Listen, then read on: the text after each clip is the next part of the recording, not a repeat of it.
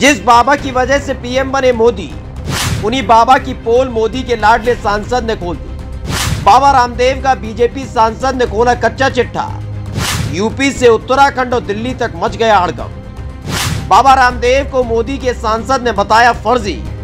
कई संगीन आरोपों पर उछल पड़े बाबा रामदेव। बड़ी आफत में फंस गए पीएम मोदी। एक तरफ़ सत्ता दिलवाने वाले बाबा, दूसरी तरफ़ पार्टी का सांसद। साल 2012 से ही बीजेपी के साथ मिलकर कई लोगों ने कांग्रेस के खिलाफ माहौल बनाना शुरू किया था, जिसको भुनाने का काम नरेंद्र मोदी उस वक्त किया करते थे। जिनका काम योग सिखाना था, वो बीजेपी सरकार के प्रचारक बन रहे थे। दावा कर रहे थे कि मोदी पीएम बन गए तो काला वाला धन वापस आ जाएगा। दावा कर रहे थे कि साहेब देश के भाग्य विधाता बन गए तो पेट्रोल डीजल के दाम नीचे आ जाएँगे। लेकिन उसके बाद जो हालात देश के बने उस पर बाबा रामदेव अंतर ध्यान हो गए थे। बाबा रामदेव को भरे मंच से मोदी के सांसद ने किया जली। बताया, बेवकूफ़ बनाने का करते हैं धंधा।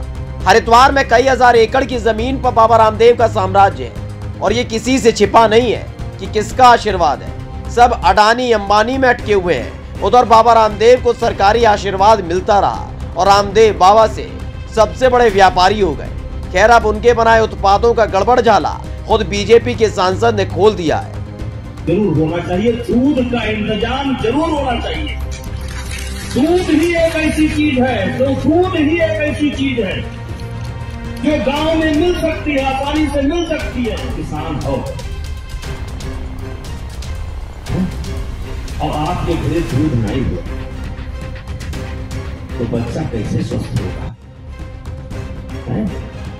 रामदेव के नकली खाए स्वस्थ ये कैसरगंज से बीजेपी के सांसद ब्रजभूषण शरण सिंह है।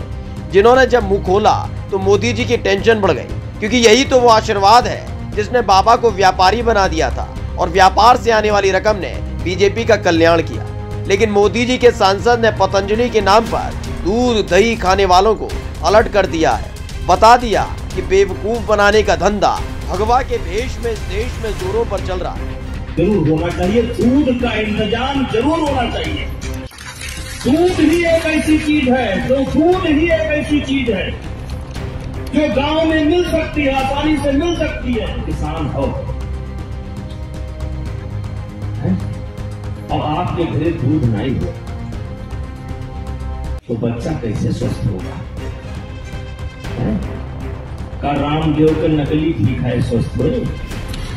रामदेव के कारनामों की धज्जियाँ उड़ाने वाले बीजेपी सांसद ब्रजभूषण शरण सिंह ने बताया कि दूध, दही नहीं, टूथपेस्ट से लेकर तमाम सामानों के नाम पर कैसे जमकर लोगों को लूटा जा रहा है और ये सब किसके आशीर्वाद से हो रहा है, किसी से छिपा हुआ नहीं है। उनका मंजन एक बार किया था, अब हमारा दांत खराब होने लगा मैंने डॉक्टर को दिखाया। वास्तव में दांत खराब होने लगा। उन्होंने ज़रूरत से ज़्यादा लौंग का इस्तेमाल कर दिया। लोगों ने बताया, शुरू में अच्छा लगता, मेरा दांत खराब हो गया, मैंने तुरंत डॉक्टरों ने मना किया तो उसके बाद छोड़ दिए। हम नहीं खाते वैसे। शिकायत नहीं किया शिकायत नहीं की कहाँ शिकायत करें? इतना बड़ा दिया लेकिन वो मैंने बंद कर सही कहा किसमें हिम्मत कि साहेब के करीबी बाबा के खिलाफ शिकायत दर्ज कर सके किसमें हिम्मत वो मोदी जी के लिए प्रचार करने वाले बाबा के खिलाफ कार्रवाई कर सके तो शिकायत का कोई मतलब ही नहीं बनता। सोचिए ये तो बीजेपी के सांसद हैं जिन्होंने बाबा रामदेव की परत खोल कर रख दी। अगर यही काम किसी आम इंसान ने किया होता तो उसका क्या हश्र होता?